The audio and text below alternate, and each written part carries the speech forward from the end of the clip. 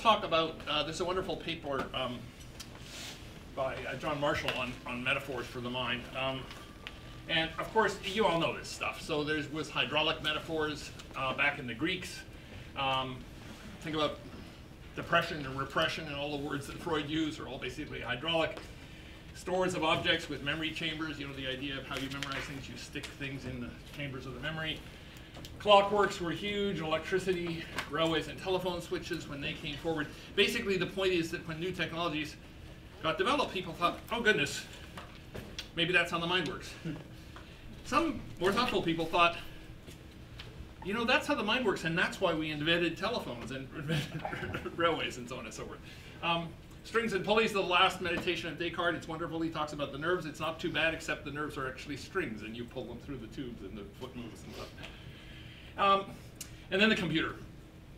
Now, the computer was different in terms of its intellectual impact as a possible um, model of mind. It was taken very seriously theoretically.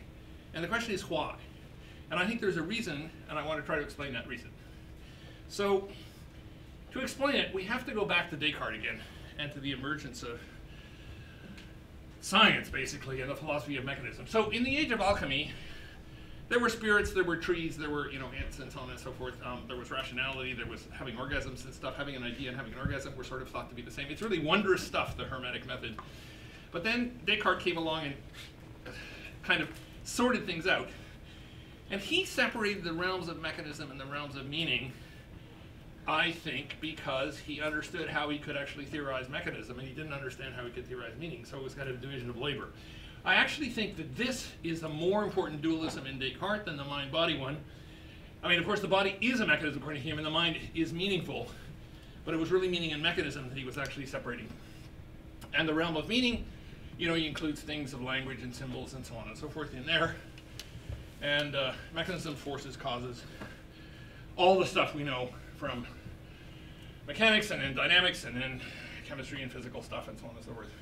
Um, our thoughts, our language, our symbols, and so on and so forth are about this world. That's what Descartes was doing. He was coming up with meditations, which were in the top realm, about things in the bottom realm by and large. You could, of course, think about meaning too, recursively, but this was the basic picture. Um,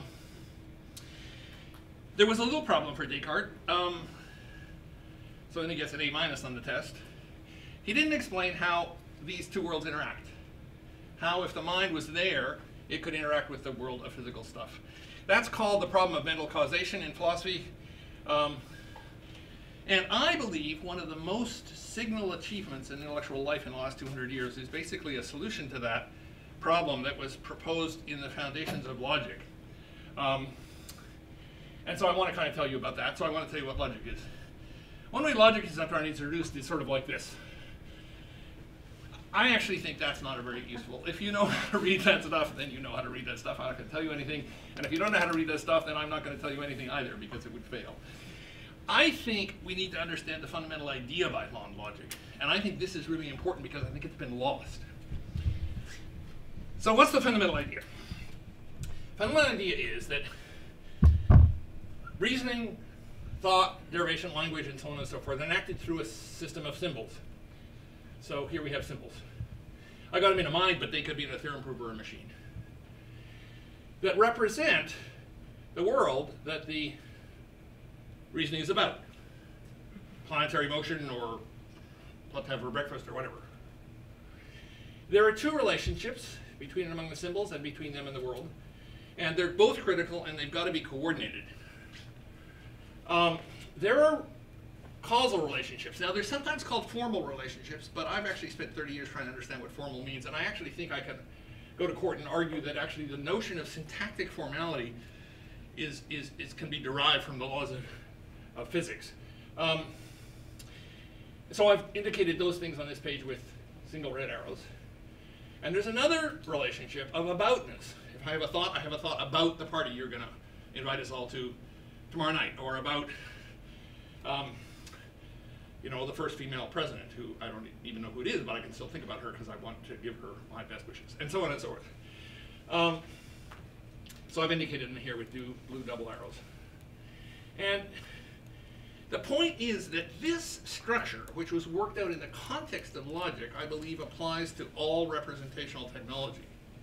So this is a hugely general, basic picture, which got to be complicated in a zillion ways. But the basic idea, remember we're still talking about the fundamental idea, is that to work properly, the systems, the symbols in the system have to remain appropriately coordinated with the world they refer to. Otherwise you're going to be wrong, for example. That means that logic and all representational systems are governed by norms. So if I come up with a logic in my Olaf is teaching my logic course, and I say, hey, look, I've got a great new logic. Here's how it works. And Olaf points out, look, everything this thing's coming up with was false. And I said, you're just so prejudicial. What's wrong with falsehood? logic is not arbitrary. It's not arbitrary symbol manipulation. There's actually this background condition in logical systems that you actually are trying to uh, represent, get these things coordinated. And uh, representation be true is one of the most obvious norms. People who know logic will know about soundness and completeness. Soundness and completeness are technical versions of those norms in the formal structure of logic. But this is what matters. There's a norm. Moreover, having semantics, being about things, and being subject with respect to how you work to those relationships to what it's about, I actually think are the confining properties, the stuff and substance of mind and language. I actually don't think you have a mind or have a language unless you have those properties. Because in fact, this is what allows us to refer to things that are distal, the party I referred to, or in fact, Einstein drive out there, or, or anything. In fact, I don't think you can think without actually thinking about something, and what it is that you think about isn't necessarily here. We actually have a sense of the world. And furthermore, the structure of these norms and the structure of the coordination determines whether what we say is true and false, which at the moment seems to be a rather important subject matter, which might be something YHouse would be interested in knowing. What's, what is truth and how does that work and so on and so forth. I should say I'm a social constructionist of a certain, uh, to, to a certain extent. So this doesn't mean naive realism. It just means there's a world out there. Moreover, and I want to emphasize this, I think the most important property of human and logical semantics and reasoning and so on and so forth is that it's deferential. This should have been in italics. We defer to what's the case. If, as the philosophers say, if word and world part company, the world wins, and I'm wrong. I actually um, specialize in being wrong because it's a experience I have a great deal. Um, and I think the point about being wrong is I want to know if that's a pond that is 17 miles deep. And my guess is it's not. And so if I say it's 17 miles deep, Pete will think, why did I invite this guy? Because he said something false. Because what actually matters is how deep the pond is. So that deference, and I think it underwrites artistic creativity and so on and so forth, that deference to how the world is, namely the deference to what it is that our thoughts are about, I think is in fact foundational in logic. And the thing that is most important for YHouse and for my talk here today and so on and so forth is that these semantic relations and the norms of truth and reference and the difference and so on and so forth, none of them are causal relations. You can't express what's going on, what the norms are, what things are about in purely causal terms. So I'll just tell you about this iPhone app I tell my students about. I say, look, if you could build this iPhone app, you can earn a billion dollars. I mentioned this when I was here last time. Um, if you can't earn a billion dollars, you can take my life. Because I'm sure God will tell you you can't build it. And the iPhone app is the following. You download the iPhone app, you put it on your iPhone, and turn it on, and then your iPhone will beep every time anyone thinks about you. Now, I think that would cater to a large amount of ego in the world. But the thing is, when you're thought about, you are actually thought about, but nothing causally impinges on you. You can't have a being thought about detector because it's not a causal property. It's not a causally efficacious property, I would say, if I was thinking, talking more carefully. And I think that fact that the properties of thought and language which are most important are not causally detectable means the following that you can't understand logic completely within contemporary science because contemporary science is committed to causal explanation. More, I think, I mean, philosophers of science will say that, but I think more than in fact some scientists realize how profound the philosophy of mechanism that came out of the, emerged from alchemy, is actually committed to a kind of causal account of how thinking and mind and waterfalls and so on and so forth work. So I think the point is that this fact about logic, that it's governed by semantic norms, which are not themselves causal relationships, means that the actual theory of logic can't actually be given a causal explanation. And of course, I wouldn't be saying this if we were talking about logic. I think this is true about mind. I think it's true of awareness. I think it's true of consciousness. I also think it's true of computing. I will actually go to back to argue that the things that get called theories of computation are actually inadequate in that they don't get at what actually matters about computation, which is that it's a normally normatively governed configuration of machine states that actually are meant to correspond to the world in, in, in semantic ways, and that the semantic ways and the normal normative coordination and so on and so forth. Every programmer knows that, but the theories don't account for it. All right. So that was this great idea of logic, I think. You work causally, and the way you work is governed by norms that are semantic, and the semantic norms are not themselves causal. All right, what about computing? Let's go back to the picture we had. As the world went on, mechanical, you know, causal scientific accounts of things started to be more and more impressive and started to take over things that were actually previously thought to be in this realm. So if you think of George Boole's stuff in the middle of the 19th century, um, Frege attempted to derive logic from mathematics, but then what came out of that, um, essentially formal logic. And I think this is a kind of, what do we call it, just so story? I'm not sure people know what just so stories mean anymore, but basically rationalizations that aren't quite right, but they give a sense of what's going on. What I think happened is that intellectual life because we started to understand things about theory and language and symbols, it got kind of brought within science. And I think that computing actually arose, so this is the 37 paper of Turing in the 50s, uh, what is, uh, is 1950, what's the Turing 50 paper called? Anyway, whatever it's called. Game? Sorry? The imitation game? Well, it's about the imitation game. I don't What think that's its that? name. Um, doesn't matter. Whatever it's called. I'm referring to it. and I defer to it, whatever it is called. I think computation arises out of that. Here is a striking fact. Think about computer science's technical vocabulary. Symbol, reference, language, name, identifier, variable, syntax, synt- uh, semantics, evaluation, interpretation, and so on and so forth. All of these words are words that come from the study of logic, which was the upper thread in this picture. Those words aren't like force or mass or acceleration or charge or anything like that. They're not words from the realm of causal physical stuff. They're words from the realm of language and symbols and reasoning and thought and so on and so forth. But what happened, I think, is that because of this insertion, computer science actually redefined all those words to name mechanical relations. Now, you might think that what it did was it came up with mechanical accounts of these phenomena. But I don't think that's right. I think it actually changed the subject. And I'll, I'll give you an example in a minute. Um, so, what that's led to, I think, is the following. So I wrote my, I don't know if I mentioned this, I wrote my first big AI program um, 50 years ago this October. So I'm basically an- ancient and about to go extinct. Um, when I started, AI was based on essentially a logical model. Good old-fashioned AI, that's what my old friend John Haugeland called, called it. GOFAI, that became the, the universal word. It basically was based on this deferential model that the syntax had to honor the semantics and so on and so forth. You had this dialectic. GOFAI failed. My own view is it failed because, it's of because of its excessively rigid ontology, not because this fundamental model is wrong. But the problem was, people threw away the baby with the bathwater, as always happens.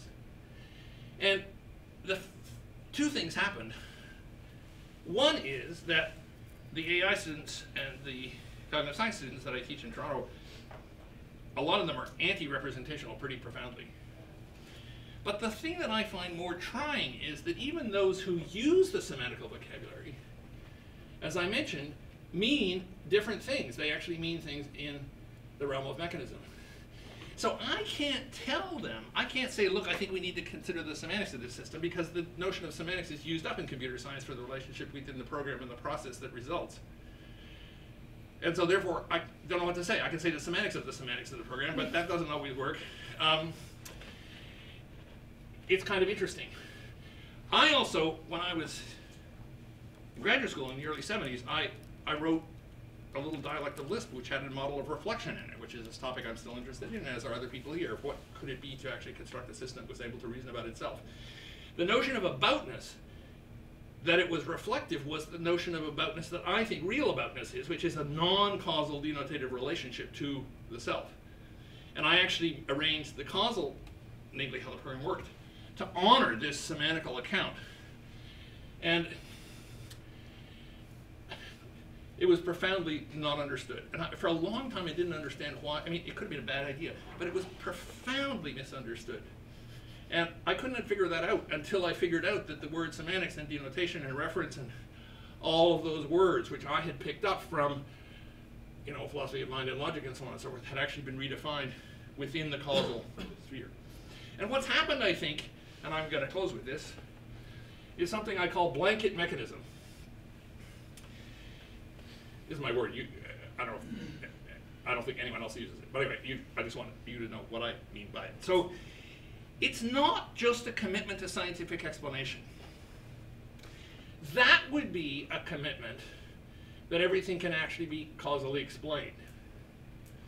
It's a stronger thesis, and it's held a priori in the sense that the people I encountered actually believe it without having any evidence for it, that everything that exists is causal. That in fact the world is restricted to the causal, not just that explanation is restricted, is, is, is not just the causal explanation is capable of explaining everything, including reference, but that there isn't no such thing as reference. And I tell you, when I teach about reference and I get people to realize how stunning it is, they all decide there's no such thing. And it's amazing. I tell them, well, look, you've just met somebody three weeks ago and you fall in love with them and their high school sweetheart turns up and they go off to Hawaii for four days or five days and you're a total psychological wreck and the person comes back and you're just a mess and you go see them and you say, did you think about me while I'm gone? And the person says, well, I don't know, there's no such thing as thinking about, but my cortical cells moved around in this way and so on and so forth. And I try to get them just drenched in anxiety. But they still won't believe in reference. And also, I think, and this is what's interesting, I think even in the discussions this morning, my sense is that the words we use, like what's an observable phenomenon, and what's behavior, and what's information, and what's emergence and data, and what's operational things in themselves, evidence events, all of those words have been drenched, have been uh, dyed in blanket mechanism, so they now refer. So an event is only the causal physical phenomena. It isn't doesn't include the semantical stuff, the truth, and so on and so forth. Um, the truth of a phenomenon is not the thing in itself, and so on. And I think observable stuff, so science studies people, they want to take video cameras, and Bruno Latour writes a book, Pandora's Box. Box. Is it called Pandora's Box? Anyway, he has this stuff at the beginning. I mean, it, it's so obvious if you called box, I decided it wasn't. And he says, look, he's at the edge of this field in Brazil, and he has a video camera, and people are putting little samples of Earth into egg crates, and they're putting little plastic things. He doesn't see any reference there. He just sees patterns of circulating signivars. And I say to Bruno, of course you don't see reference. Reference isn't causal. It's not going to impinge on the digital detector in your video camera. The fact that it doesn't detect on the sensor in your digital camera just means it's not a causally efficacious phenomenon. It doesn't mean it's not there. So anyway, I think those have all been torqued. Just in case you didn't know what I thought about blanket mechanism, I thought it would give you a little hint. and so, here's my moral for YHouse. I think that we should be aware of blanket mechanism. We should not be a priori committed to thinking that causal explanations of things will do justice to our phenomena. Because my sense is that awareness and consciousness and thinking about things and so on and so forth all partake of that lesson that was worked out in the formal context of logic, that these things are not causal phenomena. And so I think if we inadvertently commit to molecular mechanism, we'll never understand awareness. Thank you. Thank you.